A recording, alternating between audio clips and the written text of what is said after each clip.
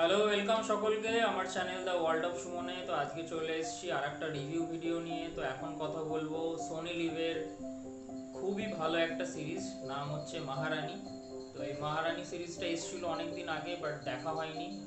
Just কিছুদিন আগে আমি এন্ড করলাম মহারানীটা তো খুব ভালো লাগল, বলা যেতে পারে যে এই দু হাজার একুশের one of the best series Sony LIV আমরা জানি যে একের পর এক ভালো কন্টেন্ট দেয়। এখানেও তার ব্যতিক্রম ভালো কন্টেন্টই দিয়েছেন। তো এটা একটা বাস্তব ঘটনার উপর বেস করে করা। যারা এর ট্রেলার বা এটা সম্পর্কে খোঁজ খবর রেখেছেন, তারা জানেন অলরেডি যে এটা কোন স্ক্যাম বা কোন নেতার ওপরে করা। তো এটা খুবই বাস্তব একটা ঘটনা এবং যেহেতু মহারানী নাম, তো এখানে যাকে দেখানো হচ্ছে, হুমা কুরেশি যে অভিনয় করছে, সেই মন্ত্রীর আর কি যে ওয়াইফ সে কীভাবে আর কি মন্ত্রিত্ব পায় হঠাৎ করে এবং সেখান থেকে কীভাবে সেই রাজ্যটাকে চালানোর চেষ্টা করে এবং তাতে কি কি তার হার্ডেলস আসে সেটার মাধ্যমে কি কি সে আবিষ্কার করে, সেটা নিয়ে পুরো কাজটা। তো পুরো কাজটাই খুব ভালো বিকজ এটার একটা একটা মানে খুবই রিয়েল স্টোরি থেকে তোলা এবং স্ক্রিন প্লে ডায়লগ খুব ভালো সুন্দর করে লেখা এবং যে ক্যারেক্টারের গ্রাফগুলো গ্রাফগুলো খুব সুন্দরভাবে দেখানো হয়েছে এখানে। জাস্ট দুটো জায়গায় আমার একটু ভুল লেগেছে। সেই দুটো জায়গা হচ্ছে যে এখানে পারভেজ আলম বলে একজন ক্যারেক্টার আছেন, একটি মোটামুটি তার অনেকটাই চরিত্র আছে এখানে।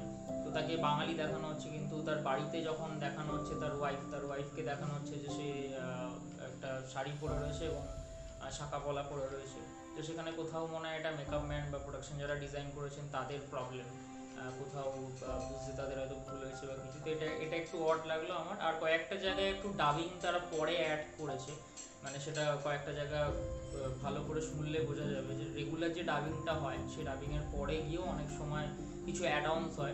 তো সেই অ্যাডাউন্সগুলো মাঝে মাঝে মাঝে মাঝে হয়েছে, খুব বেশি নয়। তো এই দুটো। আর আদারওয়াইজ যারা যারা প্রত্যেকেই কাজ করেছেন সবার অ্যাক্টিং খুব ভালো এবং হুমা কুরেশি যে পুরো টেনে নিয়ে গেছে সিরিজটা এবং তার যে ক্যারেক্টারের যে চেঞ্জটা সেই চেঞ্জটাও খুব ভালোভাবে দেখানো হয়েছে। খুবই টান টান একটা সিরিজ। দশখানা এপিসোড আছে মোটামুটি ওই চল্লিশ থেকে পঁয়তাল্লিশ মিনিটের মধ্যে। তো খুবই ইন্টারেস্টিং সবাই দেখতে পারেন মহারানী। এই সিরিজগুলো নিয়ে অতটা কথা হয় না, কারণ এই প্ল্যাটফর্মগুলো অতটা অতটা পপুলার নয় লাইক নেটফ্লিক্স অ্যান্ড অ্যামাজনের মতো। যেরকম যখন the scam nineteen ninety two এসেছিল, সেটা দেখেছিল, অনেক মানুষ দেখেছিল, ভালো লেগেছিল বাট সেটা নিয়ে এত হাইপ হয়নি, যেরকম ফ্যামিলি ম্যানের ক্ষেত্রে হয় বা মির্জাপুরের ক্ষেত্রে হয়।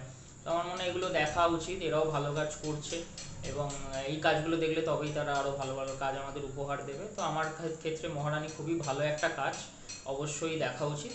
আর এটাই ছিল আমার রিভিউ আর দেখা হচ্ছে আরও পরের ভিডিওগুলোতে আর সবাই সুস্থ থাকুন, ভালো থাকুন।